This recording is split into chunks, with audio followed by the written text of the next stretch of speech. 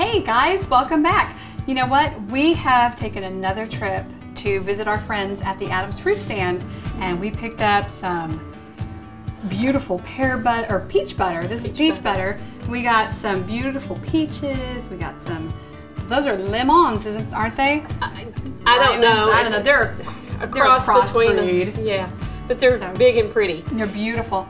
And I know you guys saw this decoration up here last episode too.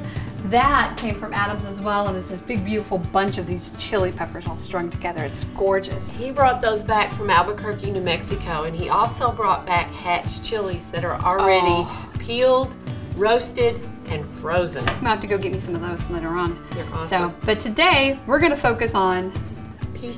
peaches. Last of the season you- peaches. Yes, and these really are the last of the season. I have a feeling this is going to be the last time we're going to get any peaches. So we're going to use them. We're going to make good use of them. And Well, you know, the, the weather is getting a little bit cooler, so there'll be more apples, there'll be more pears, there's Yep. going to be more uh, pumpkins. I think he had about 20 different varieties of pumpkins and Good Lord. squash when I was up there this week. So it's pretty awesome. So you need to think about taking a trip up there and just having some fun. and if Adams isn't in your area like they are in ours, you can go to your local fruit stand and find out what they've got. So stick around. See what we're up to.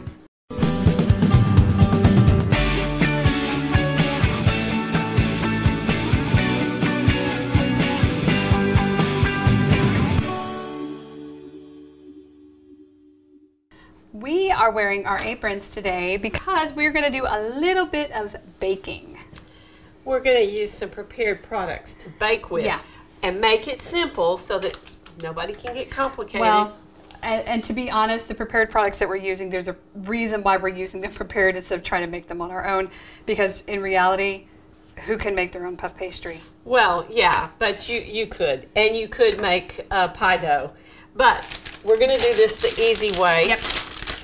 And uh, while I'm rolling out the, the the dough here, I want you to peel those two peaches. Okay. When I developed this recipe, I did it with apples and apple butter. We got the peach butter. We're gonna do peach, and um, I made some yesterday, and almost didn't have any left you know, that was one of those that it worked. Now, re- in reality, these are not sugar free, Right. and um, but they're in bites where you're not getting a huge piece of pie loaded with tons of sugar. Right. So, in you know, keeping this all in perspective, most of us that are two years out can pretty well eat just about anything. Mm-hmm. We just need to keep the idea of eating bites rather than the Right. big piece of apple pie. And frankly, if I made this into a pie, it would be calling my name until it was all eaten. Oh, right. I know. Me too. And this way, I have bites, and I can eat a bite or maybe two bites, and I don't feel guilty. Plus, I'm satisfied. That's the key. And you know, and I got to tell you, one of my husband's absolute most favorite desserts on the planet is peach cobbler. He just loves cobbler in general, but peach is one of his favorites.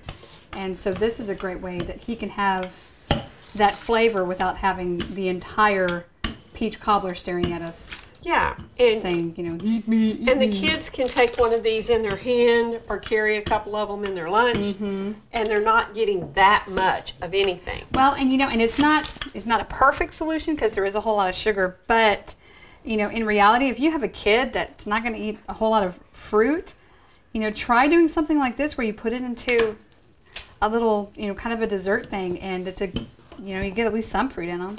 Well, and the thing is, we can't. I can't eat a lot of fruit at one setting. It, Mm-hmm. You know, it just doesn't work for my stomach. And I don't know. There may be other people out there that they're the same way. Yeah, I It can't either. doesn't. I can't eat a whole piece of fruit if I'm not dependent on it. Now I'm scooting around here, and I'm going to kind of be off camera a little bit, but I've got to roll out both sheets of this uh, crust. And if you notice, when I laid out, lay it out, it is scored um, Oh yeah. where it, it, it that is not working. it would well make three sheets, but we're making one big one. Then we're going to cut it into the sections, and I'm basically going to use a ravioli uh, method of making Oh, these, okay. so that it's simple and keep it, you know, keeping it simple is what it's all about. Making it so simple that um, the novice can do this. And what I'm doing with these peaches is I'm just cutting them in half, and then to get this little pit out, it's a little hard sometimes. I'm just kind of quartering them, and that also makes it a little easier to Yeah. to um, peel. But you can just quarter them and pull it apart, and then you can just peel that, pop that thing right out. And Easy peasy lemon squeezy. then we're gonna, when she gets those chopped up into fairly small cubes, Okay. we're going to um, add a cup of the peach butter to the peaches. It already has all the, the sweetening in it. It has the seasonings in it. Um, you could add a drop of nutmeg or allspice if you want to, but I didn't think it really needed it. Um, there again, keep it simple. So the simpler we make it, the easier it is to duplicate. And this works with apple and apple butter. We're using peaches and peach butter. I've seen pear butter, so you can do pears and pear butter. Well, the apples were absolutely, totally off the planet. They were so good, and I'm a I'm an apple. I love apples. Mm-hmm. See, I'm going to cut this into three pieces like this. And you can be a perfectionist if you want to. My husband has to make sure everything's the same Just width so. And, and I go, it's all going down the same place. It doesn't really matter. so, and uh, Okay, and so this we- is kind of stretchy too. So Yeah. We want these in small cubes, right? Is what you said. yes, not tiny, but How's that? About that uh, size? a little bit bigger than that's fine. Okay. You don't have to do that much chopping. Okay. So, and let me get you a bowl to put those in. Awesome. Should be one right under there. There is a little bigger than we really need, but it'll do. Eh, it's all right. It's okay. It's fine. I'll do a little garbage. Oh, thank Dispose you. Thank you, thank you. All right. You know what? I think while we're chopping these, I think we can take a little break. Yes. And when we come back, we're going to show you how to add the rest of the stuff and put it together. So we'll be right back. All right, our peaches are all chopped up. So I am going to put these into this beautiful peach butter. And then we're just going to stir it around till everything's covered. Now, our peach butter is made with sugar. Um, if you have a sugar sensitivity, if you can't tolerate it, um, just look for one that's sugar free. There, there are some on the market. There are some. This just happened to be something I had on hand. And when I first tried it, I used um, apple butter. I like to get sugar free if I can, but you know, we do live in the boondocks, so it's kind of hard. That's why it's easier just to eat a small amount rather than eating a. Yeah, that's true. All right, that So, is okay. good to go. What we're going to do is we're going to take a spoon, and I don't know if you've ever filled ravioli. Mm, I have. I played with Okay. ravioli before. We're going to put like, there's enough room there for two, Two or little, three? yeah, Okay. two or three like that. While you're doing that, I'm going to go ahead and beat this egg for the egg wash. Yep, we need that. And then after we've done this for a few minutes, we'll, right, I'm going to reach around you. we'll make sure we have them kind of equally uh, proportioned. Some may stick together and have more in one spot than another. Oh, were we going to use this um, lemon for anything?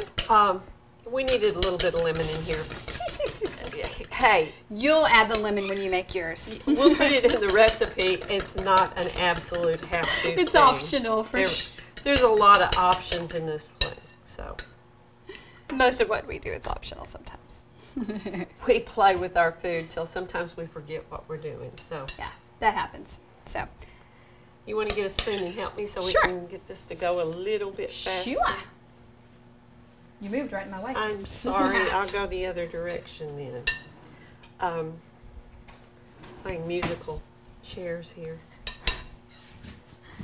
Beautiful, whatever. So we only put like two, two, two little or bits. three, two or three little bits, and then when we finish, we're going to go back and we're going to fill in to make sure we use up everything because this dough is stretchy and it will give us a little uh, give that we can, you know. So it's you don't have to be too precise. That's the good thing. I told you I wasn't a precise Mm-hmm. person. I, I was raised by a grandmother during the summers that cooked for hordes of people. And I learned to get the food cooked and out. Not necessarily beautiful, but it tasted great. And uh, nowadays, uh, I think too much is put on the beauty of food and not the, you know, and, and that's where we get caught up in it as um, uh, weight loss patients because we get carried away with how good it looks and instead of We worrying about fueling our bodies, we're worried about eating pretty and Yeah, or saying, "Oh, that looks good," and then eating more than we eating should. more than we should. So sometimes we need to go back and think, what did they do back even 50, 60 years ago? They ate to fuel their bodies. And uh, when, when we got television sets to tell us things look better this way or that way or in a box, then we run into trouble. Yeah. And I thoroughly believe had we eaten fresh food, Do we want to just? Just you just dab them in Okay. what's left. Okay. Now, if you do happen to have leftover filling, can you? Will it freeze? You could, but why if you can squeeze it in here? um, you Good can.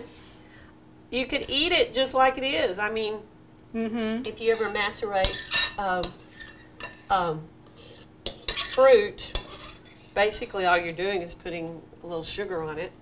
So, you know, Here we go. and letting it set. So Yeah. you could let that set and it would macerate beautifully. Okay, now watch what I do with this dough. Okay. See how I can just ease it out just like you would a piece of pizza dough? Do we need any egg wash on this Not half? yet. Okay. Not yet. Gonna line it up here. Gonna spread it out. Okay. Now then look here. That's cool. And here. fun. and here. We like to say, "Play with your food." Now we're really getting to play We're with our really food. playing with our food. Okay, this is just the way you would do um, ravioli. And then, after you cut it into pieces, and it, they may overflow a little bit when they Mhm. bake. That's okay. That's okay because it'll caramelize and oh, It so will. good. Now, I want you to take that fork, Okay. and I want you to crimp around every edge. All right. and uh, I'll work on the next two. And then we're going to put the egg wash on, put them in the oven at 400 degrees for about 15 minutes. After 15 minutes, you need to be watching them because uh, uh, it, it starts to get darker brown. And if you don't mind the dark brown, you're fine. If you want them light brown, but I, I did it at 400 because it's fast. Mm-hmm. You could do it at 350. It just takes, Takes a little longer. Okay, so, where's that pastry brush? I'm going to show them real quick how to egg wash one, and then I think we'll take a break while we do the rest of these. So, get these in the oven? Yes. okay, doing an egg wash is super easy. You dip your pastry brush in your egg, and you're just going to brush it over the top of your little pies. There we go. All right, I'm gonna pop that onto the pan, and we're gonna finish these up and get them in the oven, and we'll be right back to show you what they look like. See you in a minute. And by the magic of television, voila! And I'm going to try one. They're so good. Mm, mm, mm, mm. Mm-hmm. They're really good, The and you could peach. almost add more to Mhm. the center if you wanted to. You really could. Well, they did bubble out a little. Mm-hmm. Mm, they're really good. Hot, cold, breakfast, lunch, Dinner, dinner. anything, snack. All And right. It's just the right amount. Mm-hmm. It is. So- It is. It's a little bite, and they're perfect. And they're so cute too because they really do look just like little ravioli, don't they? They really do just look like little ravioli. They're adorable. All right. Well, thank you guys for joining us. We hope that you'll try this and that you'll think outside the box. This also works great with just about any fruit that you have in season. Oh, and you can also use phyllo dough with this if you'd prefer. It's a little more involved because you have to kind of lay out layers of phyllo dough before you, you know, so whatever. we'll show you that another time, I'm sure. All right. Don't forget to like and subscribe. And if you want to get in touch with us, all of our links are right down there in the description. So be sure you click that little more button and you'll see where to find us. And don't forget to check out our website, www.number7bites.com. And that will have all a double seven bites show.com. I'm always forgetting the show for some reason. Wishful thinking. Anyway, just go visit our website. We've got all the recipes and all the videos and blog posts and everything that you need right there in one place. So thanks for joining us. Check us out. Don't forget to come back next time and see, See what, what we're, we're up up to to. next. Bye.